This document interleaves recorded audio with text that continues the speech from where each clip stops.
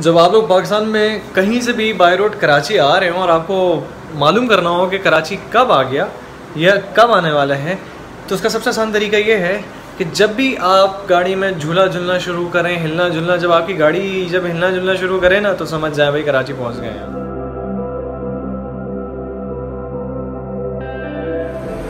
अलकुम welcome back to my YouTube channel मैं उम्मीद करता हूँ कि आप सभी लोग ठीक ठाक होंगे, खैरियत से होंगे।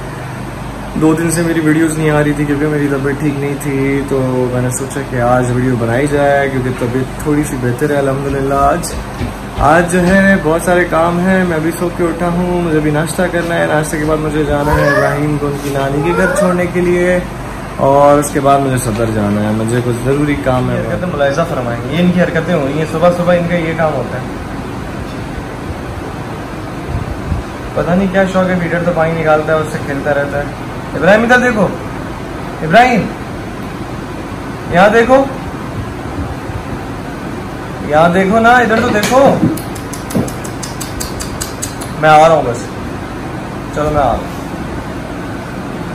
इधर तो मुझे फिट इधर तो इधर तो बाबा ने इब्राहिम को छोटे बेबीज की तरह पैक कर दिया।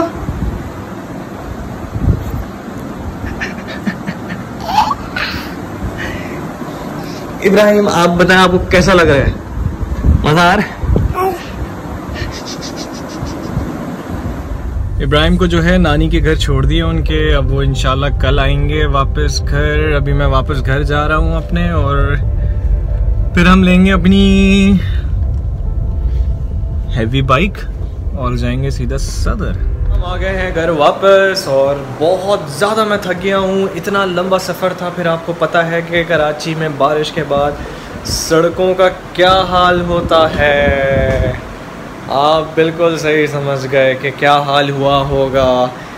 भाई, बहुत बुरा हाल है, बहुत बहुत मुश्किल है। नहीं जाना भाई, कराची में घर से बाहर निकलना ही नहीं है। इतने गड्ढे, यहाँ जाओ, गड्ढा, वहाँ जाओ, गड्ढा, हर जगह गड्ढे, गड्ढा, गड्ढे में वहीं गिर जाओ, गड्ढे में ही रह जाओ। भाई, ऐसे है भाई, आपको कोई सड़क नामी कोई चीज़ ही नहीं है। यहाँ से सदर जाना अजाब है, अजाब। खैर एनी वेज ये तो आपको पता है कि कराची में अगर आपको गड्ढे ना मिले, सड़कें ख़राब ना मिले, टूटी भी ना मिले, पानी खड़ा हुआ ना मिले तो आपको कराची लगेगा ही नहीं कि आप कराची में हो। जब आप लोग पाकिस्तान में कहीं से भी बाई रोड कराची आ रहे हो और आपको मालूम करना हो कि कराची कब आ गया, या कब आने वाला है तो उसका सबसे आसान तरीका ये है कि जब भी आप गाड़ी में झूला झूलना शुरू करें हिलना झुलना जब आपकी गाड़ी जब हिलना झुलना शुरू करें ना तो समझ जाए भाई कराची पहुँच गए हैं। अब आप लोग समझ रहे होंगे कि मैं बार बार कराची की जो है ना बुराइयाँ करता जा रहा हूँ। भाई मैं कराची की कोई बुराई नहीं कर रहा, मैं ये तो कराची कराची से एक मोहब्बत है इजहार मोहब्बत है ये मेरा कराची के लिए। लेकिन बस अल्लाह से दुआ करते हैं कि भाई कराची को जल्द से जल्द अच्छा कर दे, बेहतर कर दे, ठीक कर दे, इसको, इसकी सड़कें वड़कें इसका इंफ्रास्ट्रक्चर वगैरह बेहतर कर दे, ताकि और लिवेबल हो जाए हम लोगों के लिए।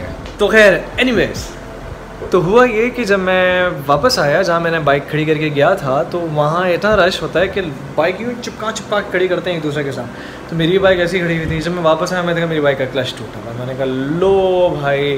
तो वहाँ बंदा खड़ा हुआ था जो पार्किंग वाले खड़े थे मैंने कहा, यार तुमने क्या किया यार? कह रहे, रुके रुके, मैं पीछे सही करके देता हूँ आपको। तो सही करने का तरीका क्या था उनका? मतलब उन्होंने जो तरीका दिखाया कि वो जो क्लच का जो लेवर होता है क्लच का लेवर निकालेंगे और जो ब्रेक वाला लेवर था, वो उधर लगाने की ख्वाहिश में थे। फिर उन्होंने देखा कि भाई क्लच तो टूटा हुआ है, लेकिन काम कर रहा है। मतलब वो आप यूँ करके पकड़ लो, उसको अटकाओ और फिर दबाओ। तो मतलब थोड़ा सा ट्रिकी था। मेहनत का, मेहनत वाला काम था, लेकिन काम कर रहा था। तो वो बड़े मुतमिन हो गए कि, सर, आपका काम कर रहा है, अब आप आराम से चले जाएँगे, आगे मार्केट है, वहाँ से आप जाके ठीक करा लीगा तो ये सीन था। जैसे तैसे करके अल्लाह का शुक्र है कि मैं घर पहुँचा।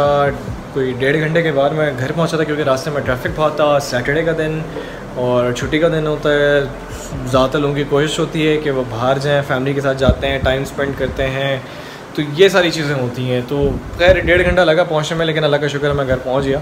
उसी टूटे हुए क्लच के साथ। तो ये छोटी सी वीडियो थी, छोटा सा व्लॉग था। मैं उम्मीद करता हूँ आप लोग को पसंद आया होगा। और मैं माफ़ा चाहता हूँ आप लोगों से कि मैं आप लोगों को जो सफ़र मैंने तय किया था, जो रास्ता था, उसमें से मैंने कुछ नहीं दिखाया। जहाँ मैं गया था, वो मैं आप लोगों को नहीं दिखा सका। क्योंकि बाइक पे जाओ तो फिर बैटरी मोबाइल की बैटरी बहुत जल्दी तो जाती है आईफोन की, आपको पता ही है। और दूसरा ये कि चार्जिंग की कोई जगह ही नहीं होती है। जब चार्जिंग की जगह नहीं होती तो फिर रास्ते में मोबाइल बंद हो जाए, खुदा ना खास्ता तो फिर कोई एमरजेंसी हो जाए तो बंदा क्या करे? तो इस वजह से जो है, मैंने नहीं बनाई घर आके फिर मैंने वीडियो बनाई थी और बस अब मैं वीडियो अपनी एंड करूँ और भाई, जिन लोगों ने चैनल सब्सक्राइब नहीं किया है, वो फ़ौरन जाएँ चैनल को सब्सक्राइब करें।